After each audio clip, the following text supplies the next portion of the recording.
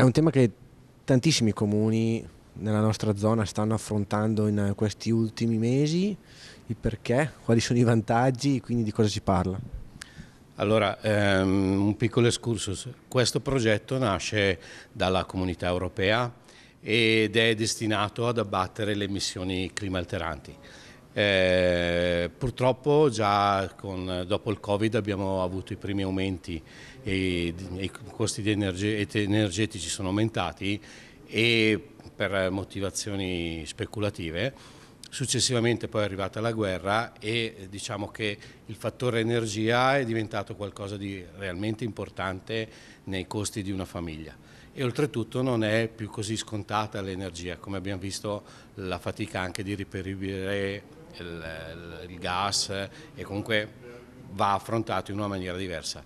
Eh, ci siamo poi trovati, che cosa? Ci siamo trovati una legge già pronta anche a livello italiano che è quella della comunità energetica. Questa comunità energetica dà l'opportunità di produrre in loco quella che è quanto più possibile la necessità del loco.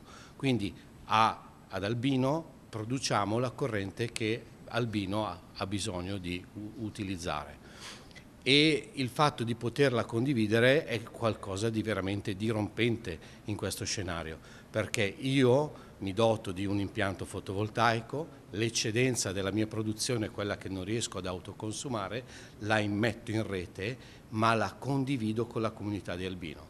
Così facendo viene poi erogato un incentivo che viene stabilito di ora in ora, un incentivo di 11,8 centesimi al kilowattora e questo finirà poi sul conto corrente della comunità energetica e successivamente questo importo, che sarà piuttosto che cospicuo, verrà condiviso con i vari eh, componenti della comunità, che sono di due tipi. C'è il prosumer, ovvero la famiglia, il cittadino, la società che si dota di un impianto fotovoltaico e che nel contempo se l'auto produce, l'auto consuma e immette l'eccedenza in rete e il consumer. Il consumer è un semplice cittadino che per svariato numero di motivazioni non ha la possibilità di produrre energia, ma aiuta la comunità energetica a raggiungere il massimo possibile di incentivo da parte del GSE. Quindi è anche il semplice cittadino determinante per il successo della comunità energetica. La seconda serata questa ad Albino, la prima come è andata? Molto interesse? Allora, già dalla prima serata abbiamo eh, avuto un grosso, un grosso riscontro da parte della cittadinanza e ovviamente l'opportunità di ripeterla per il semplice motivo che eh, la comunità energetica deve partire comunque con un certo vigore anche per poter partecipare al bando di Regione Lombardia che sovvenziona eh, in modo mh, abbastanza sostanzioso proprio la costituzione della comunità energetica pagando quelle che sono le spese di progettazione e di costituzione della stessa e per far questo ovviamente bisogna produrre un progetto di insieme che abbia determinate caratteristiche tra cui anche quella di un certo seguito da parte della cittadinanza. Invece questa seconda serata su cosa puntate, avete puntato? Allora, di fatto eh, dal punto di vista de della spiegazione sarà una replica comunque della prima serata, anche perché diversamente da quella abbiamo chiesto gli accrediti alle persone in modo tale da conoscerle già anticipatamente e di avere anche la certezza di un certo numero di partecipanti, quindi saranno comunque cittadini nuovi che si affacciano per la prima volta alla comunità energetica e che avranno bisogno di essere accompagnati noi, da noi nel capire proprio quali sono le opportunità che la stessa offre. Quali sono i vantaggi per, chi, per invogliare anche la gente di Albino a partecipare? Il vantaggio è un risparmio nell'immediato per chi è prosumer di un 20-25% d'abbattimento dei costi energetici, anche perché autoproducendosi corrente hanno l'opportunità di autoutilizzarla e autoconsumarla. Ovviamente poi l'eccedenza, ed è lì la novità, non solo verrà pagata sul prezzo nazionale unico del momento, dell'ora dove verrà fatto il check dal GSE, ma riceverà anche un incentivo. Questo incentivo in grossa parte andrà poi nelle tasche dei produttori. Siamo con il sindaco Fabio Terzi, una serata importante Cosa vuol dire fare comunità? Ancora una volta lo si dimostra con una sala piena alle spalle.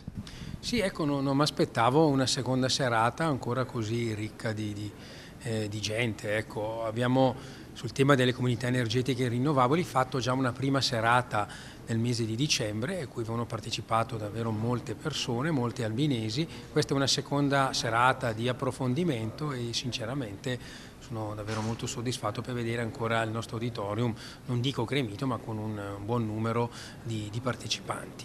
Come ho sempre detto, ecco, eh, quello delle comunità energetiche rinnovabili è una grande opportunità per tutti noi, per il singolo cittadino, per la famiglia, per le imprese, per gli artigiani, per i commercianti. Ecco, eh, in un momento in cui eh, abbiamo, eh, lo sappiamo tutti, i costi energetici sono eh, lievitati, c'è la questione appunto ambientale, il clima, Ecco, fare comunità energetica vuol dire eh, dare una risposta a tutte queste problematiche.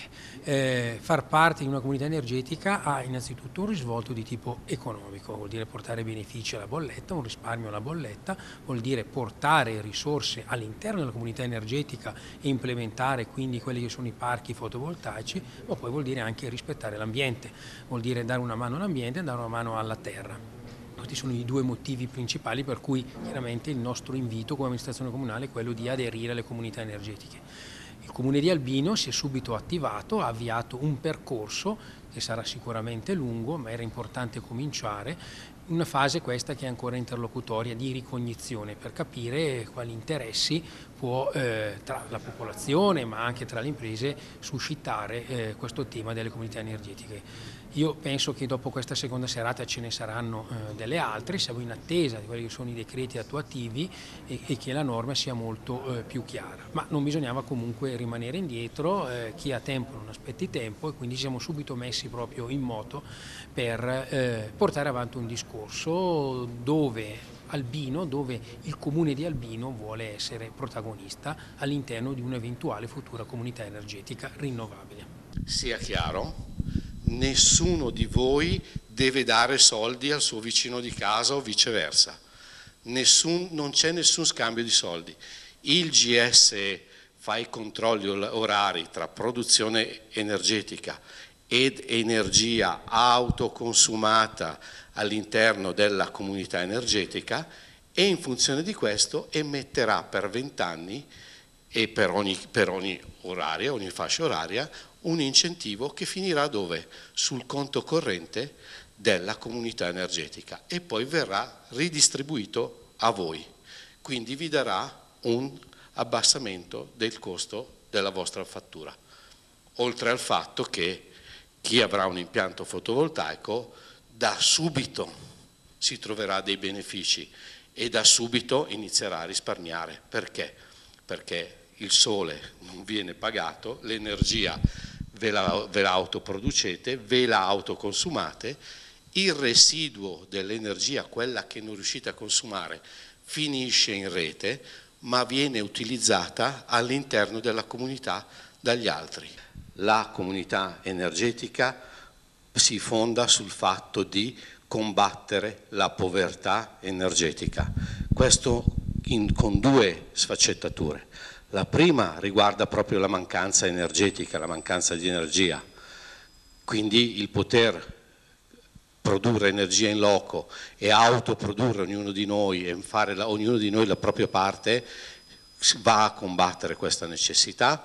L'altro è proprio un aiuto sociale alle famiglie, alle associazioni, ai bisognosi, che farà sì che cosa? Che una parte dei proventi verranno destinati proprio a questo sostegno. E pensate che la regione Lombardia, che è stata la prima regione a livello italiano che da subito ci ha messo 23 milioni di euro a disposizione della Costituzione delle stesse per pagare le progettazioni e quelli che sono gli atti notarili e quant'altro, ha nei suoi parametri per partecipare e concorrere a questo bando e l'amministrazione assieme a noi si sta adoperando proprio per questo, eh, ha proprio dei concetti sociali, dei concetti di condivisione sociale, con, di ricaduta sul territorio di questa nuova attività che si viene a creare, il che vorrà dire una previsione anche occupazionale minima, anche di poche ore iniziali di sviluppo e di inserimento di persone che necessitano di fare delle attività lavorative.